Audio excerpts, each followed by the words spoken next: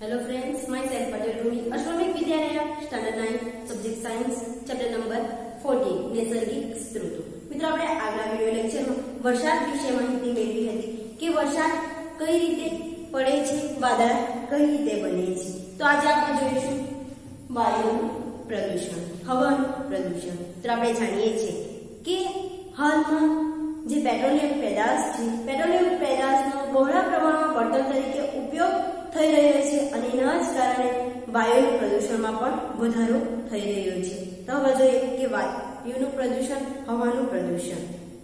હવામાં હાનિકારક પદાર્થોના ઉમેરાવાથી હવાની જે ગુણવત્તા છે, ગુણવત્તામાં ઘટાડો થાય છે અને એને હવાનું પ્રદૂષણ કહેવામાં આવે છે. કે જે વાતાવરણમાં પેટ્રોલિયમ પેદાશનો બહોળા પ્રમાણમાં બળતણ તરીકે ઉપયોગ થઈ રહ્યો છે જેથી હવાની જે ગુણવત્તા છે, એ ગુણવત્તામાં ઘટાડો થયો છે, તેને શું કહેવાશે? હવાનું પ્રદૂષણ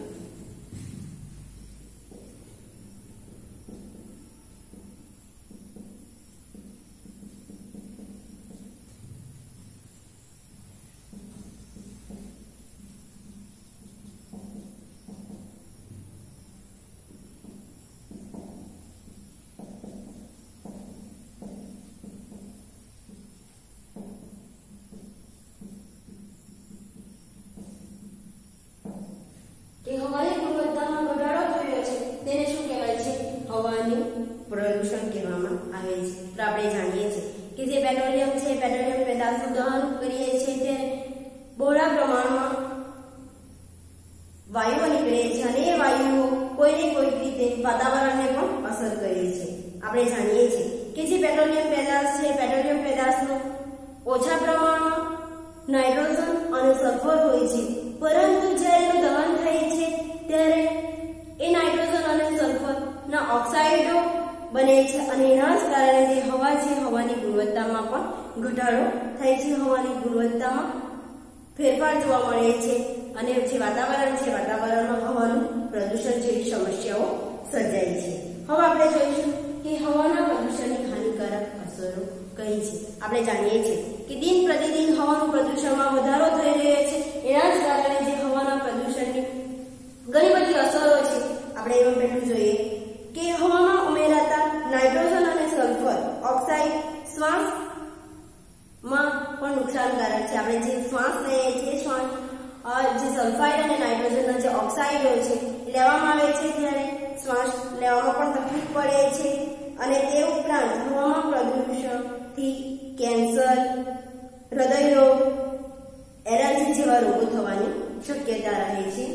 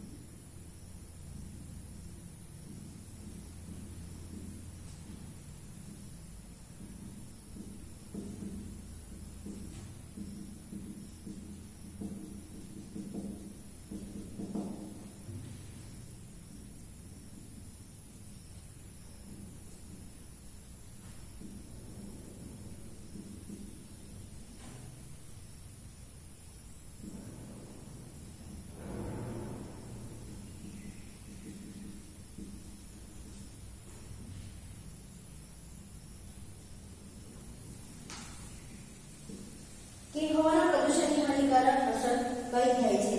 તો છે કે બેન, નાઇટ્રોજન અને સલ્ફાઇડના જે ઓક્સાઇડો છે, એના કારણે શ્વાસક્રિયામાં તકલીફ અનુભવાય છે અને એના કારણે ઘણા રોગો થવાની શક્યતા છે. જેમ કે કેન્સર, એલર્જી હૃદયરોગ થવાની શક્યતા રહેલી છે. આપણે જાણીએ છીએ ઘણા બધા રોગો થાય છે, પરંતુ અમુક જે રોગો છે એ વાતાવરણની અસરના કારણે પણ થતા જોવા મળે છે. જેમાં હવાના પ્રદૂષણની વાતો તો એના દ્વારા આપણને કેન્સર, એલર્જી, હૃદયરોગ થવાની શક્યતા રહેલી છે. ત્યારબાદ છે કે આપણે જાણીએ છીએ કે હવામાં રહેલા સલ્ફર અને નાઇટ્રોજનના ઓક્સાઇડ વરસાદના પાણી સાથે ભળે છે. જે હવામાં રહેલા નાઇટ્રોજન અને જે સલ્ફાઇડના ઓક્સાઇડ વાતાવરણમાં ભળે છે અને પાણી સાથે ભળે છે અને એસિડ વર્ષા એસિડ વર્ષા જેવી સમસ્યાઓ સર્જાય છે. તેમની અસરો કઈ થાય છે? તો ત્વચા પર ભૂમિ પ્રદૂષિત થાય છે અને પાણીમાં જે રહેતા જે સજીવો છે, એ સજીવો પર પણ એની અસરો જોવા મળે છે.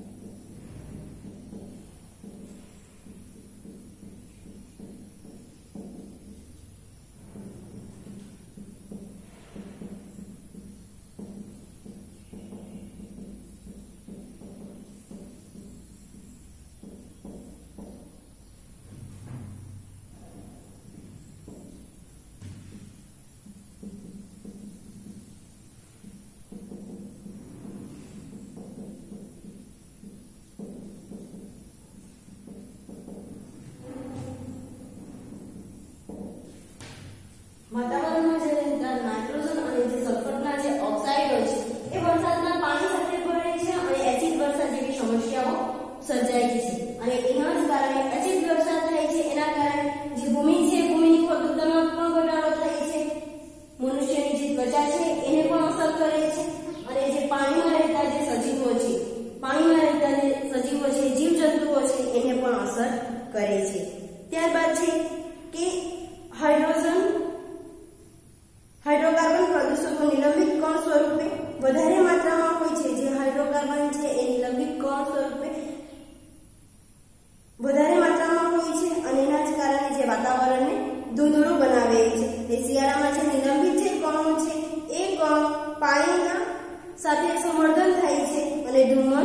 બનાવે છે. જે શ્વાસ, જે વહન અકસ્માતમાં પણ ખાસો વધારો કરે છે. જે હાઇડ્રોકાર્બનના કણો છે નિલંબિત કણો છે, વાતાવરણમાં ઘણા લાંબા સમય સુધી રહેતા હોય છે.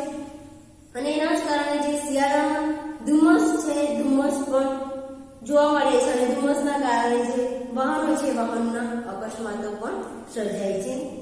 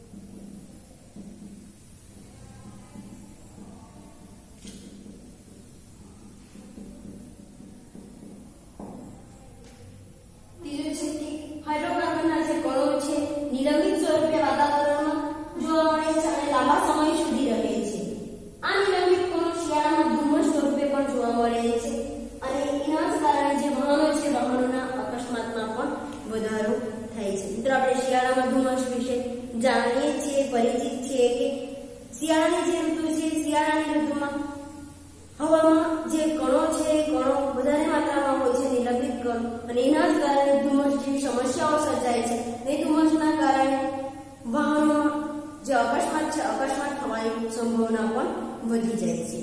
હવે આપણે જોઈશું કે આ જે હવાનું પ્રદૂષણ છે એને આપણે કઈ પ્રવૃત્તિ વડે ઓળખી શકીએ કે કયા વાતાવરણમાં હવાનું પ્રદૂષણ વધારે છે અને કયા વાતાવરણમાં હવાનું પ્રદૂષણ નથી તો મિત્રો આપણે લાઇકેન વિશે જાણીએ છીએ. લાઇકેનથી આપણે પરિચિત છીએ. કે લીલ અને ફૂગ છે, લીલ અને ફૂગના સહજીવનને શું કહેવામાં આવે છે? લાઇકેન કહેવામાં આવે છે. જ્યાં લાઇકેનનું પ્રમાણ વધારે પ્રમાણમાં છે, તો તેવા વિસ્તારોમાં જે વાયુનું પ્રદૂષણ છે, ઓછા પ્રમાણમાં જોવા મળે છે. અને જ્યાં લાઇકેનનું પ્રમાણ ઓછા પ્રમાણમાં છે, ત્યાં પ્રદૂષણનું પ્રમાણ વધારે માત્રામાં જોવા મળે છે. તો આપણે જાણીએ છીએ કે ઉદાહરણ લઈએ કે કોઈ એક રોડ છે અને રોડની કિનારીમાં એક વૃક્ષ વાવ્યું છે અને ત્યારબાદ રોડથી થોડે દૂર કોઈ એક વૃક્ષ છે. વૃક્ષ ઉપર જે એની બહારની દિવાલો હોય છે, ત્યાં આપણને લાઇકેન જોવા મળે છે. જે વૃક્ષ છે એ વૃક્ષ ઉપર, રોડની નજીક જે વૃક્ષ છે એ વૃક્ષ પર જો આપણે લાઇકેનનું પ્રમાણ, નહિવત પ્રમાણમાં હોય છે, જ્યારે રોડથી થોડા દૂર જઈએ છીએ, ત્યાં જે વૃક્ષ છે એ પર લાઇકેનનું પ્રમાણ આપણને જોવા મળશે. તો આપણે શું અનુમાન કરી શકીએ છીએ કે જ્યાં આપણને લાઇકેનનું પ્રમાણ જોવા મળે છે, તેવા વિસ્તારોમાં હવાનું પ્રદૂષણનું પ્રમાણ ઓછા પ્રમાણમાં છે. ત્યારબાદ છે બીજું કે વૃક્ષ છે અને વૃક્ષ રોડ પર એની ડાળીઓ આવી છે અને ત્યારબાદ છે કે એ જ વૃક્ષની જે ડાળીઓ રોડથી થોડી દૂર આવી છે. તો વૃક્ષની જે ડાળીઓ છે જે રોડ પર આવે છે, તેમાં લાઇકેનનું પ્રમાણ જોવા મળે છે. ના મિત્રો. ક્યાં કારણ કે આપણે જાણીએ છીએ કે જે પેટ્રોલિયમ પેદાશ છે, એ પેટ્રોલિયમ પેદાશ ના વહોરા ઉપયોગથી હવાના પ્રદૂષણની જે ગુણવત્તા છે, એ ગુણવત્તામાં પણ ઘટાડો થયો છે. અને એના જ કારણે જે રોડ છે, રોડ પર જે વૃક્ષો આવ્યા છે, એ વૃક્ષ ઉપર આપણને લાઇકેનનું પ્રમાણ, નહિવત પ્રમાણમાં જોવા મળશે. જ્યારે રોડથી થોડી દૂર જે ડાળીઓ આવી છે અને એ ડાળીઓ જે લાઇકેન છે, એ લાઇકેનનું પ્રમાણ આપણને થોડા પ્રમાણમાં જોવા મળશે. પરંતુ જે રોડ પરની જે ડાળીઓ છે, એ રોડ પરની જે ડાળીઓમાં આપણને લાઇકેન છે લાઇકેનનું પ્રમાણ કેવા પ્રમાણમાં જોવા મળશે? નહિવત પ્રમાણમાં જોવા મળશે. Thank you